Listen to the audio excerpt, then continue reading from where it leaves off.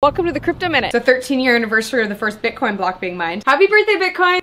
How I wish my portfolio acted. What it's really doing. MicroStrategy owns almost three times more Bitcoin than Tesla. MetaMask now has 21 million monthly active users. Robinhood is launching the beta version of its Bitcoin wallet, and 1.6 million people have already signed up. I saw Ozzy Osbourne's launching an NFT. Bitcoin hash rate hit a new all-time high. The CEO of Airbnb said their top request is to adopt crypto payments. OpenSea raises $300 million to build an encrypted digital marketplace. Inflation in Turkey hit 36%. Proof of keys day. Remember, not your keys, not your coin. So I guess the South Korean presidential candidate is going to use NFTs to raise money for his campaign. Public companies now own almost $12 billion in Bitcoin. India launches a Bitcoin and crypto fund. Matt Damon's crypto ad caused quite the commotion. Eminem bought a Bored Ape. Third largest Bitcoin whale just bought another 456 Bitcoin. 2022 is off to a rough start. We're only a few days in and one of the top headlines is about a girl selling farts in a jar. It's widely reported that Melania Trump may now be a Bitcoiner. I guess Samsung is going to integrate NFTs into their TVs. Keep stacking and I'll see you next week.